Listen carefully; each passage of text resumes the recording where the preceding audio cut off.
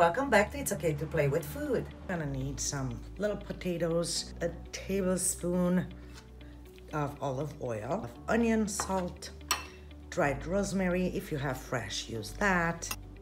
Ground pepper and chopped up parsley. I drizzle a little bit of the olive oil on the potatoes. I'm gonna add the onion, salt, the pepper, and the rosemary. The parsley will keep until it's out of the oven.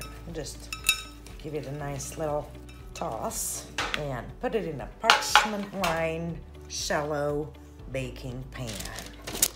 Distribute them evenly and bake them at 350 degrees until they are nice and roasted golden brown.